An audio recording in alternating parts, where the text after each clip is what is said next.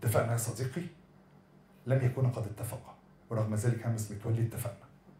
واغسل قميصك يا متولي من فضلك. بيعمل ريحة مش حلوة.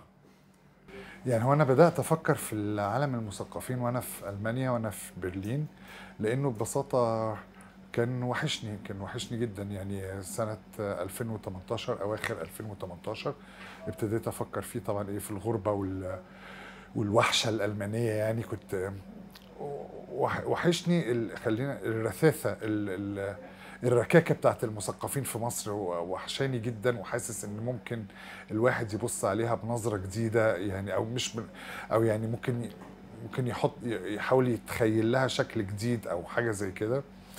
آه، خاصة إنه الأجواء في مصر كانت في السنوات اللي هي ما بعد الثورة كان في امتزاج كبير زي ما أنا فاكر ما بين المثقفين والشارع إن هو يعني كان إيه نسبة الناس اللي بتقرأ في ملاحظتي يعني كانت نس يعني زي ما أنا شايف يعني نسبة الناس اللي بتقرأ كانت عليت كتير بقى في كلام كتير أكتر مما كان يعني قبل الثورة يعني بكتير.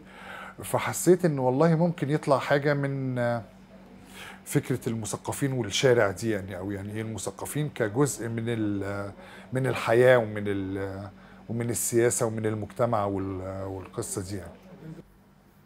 الرواية عن فترة زمنية هي ما بين الثورة والوباء.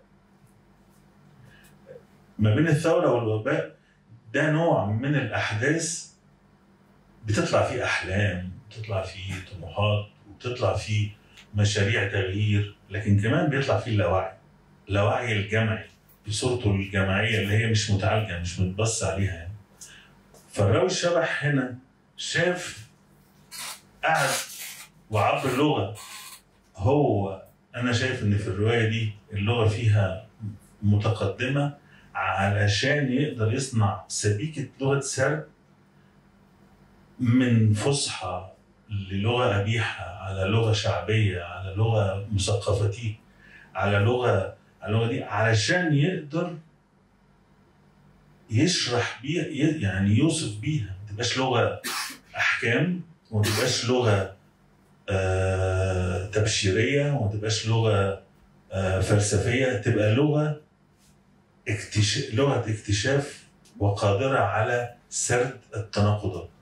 وإنه اللي موجود ده وعكس ما ما ممكن تشوفه في لحظة ما هي لحظة ما فيهاش صراع هي فيها مزاحمة زي مزاحمة الديوك ال- الحاجة الثابتة أكتر هو جيل الكتاكيت ده اللي بينتمي هو فعلا لحقبة عمرية مع- معينة لأن هو دي تصورت إنها هي إيه أو يعني ما أعرفش ممكن أبقى غلط الله أعلم بس تصورت إن الحقبة ال- العمرية دي هي اللي بتعبر عن الم- الم- المثقف القادم أوكي؟ اللي يعني إيه ما تمسش قوي أو اتمس بالثورة طبعا بس بس حر شوية تجاهها. يعني مش مش زي جيلي أنا بالتح... يعني لا يعني أنا حبيت جيل متحرر شوية يعني من يمكن الجيلين الجيلين بالشكل ده متحررين شوية من الثورة كل واحد بطريقته. بس هو كمان لأنه كان بيعبر لي عن فكرة إنه ممكن الطبقات الشعبية تخلق مثقفين. دي كانت حاجة بالنسبة لي أساسية جدا جدا إن أنا عاوز أجيب عاوز أجيب الشارع عاوز أجيب ال- الحياة الشعب الحاجات دي.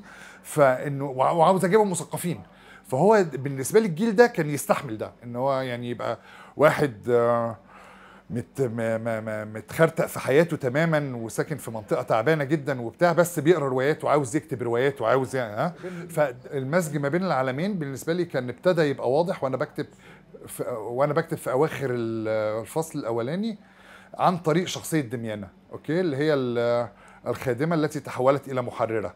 بما إنها خادمة تحولت إلى محررة فهي تستحمل إن ابنها يبقى النوع ده من الشباب اللي أنا أقصده اللي هو ال- الشاب الفقير المعدم الغلبان اللي, اللي عاوز يبقى كاتب أو عاوز يبقى روائي أو كذا. فهو بدأت من فكرة الدميانة وبعد كده الفكرة الثانية الفكرة الثانية كانت سهلة بقى اللي هو يعني إيه خلاص يبقى دميانة هتقنع مخايل إن هو يشغل ابنها عندها فيبقى هو المحرر بتاعه أو المساعد أو الجليس أو زي ما تسميها يعني. ف لا لأن أنا مش عامل مش عامل فيها نميمة. يعني لو حد مفيش حد في الدنيا قال لي لا في في في بصراحة عشان ما اكذبش في اتنين قالوا لي إن في شخصية بتفكرني بكذا وشخصية بتفكرني في كذا بس هو أنا الشخصية ما كانتش أنا بتفكرني أنا بكذا فخلاص يعني نميمة على مين؟ يعني النيه صافية فالحمد لله كل شيء تمام.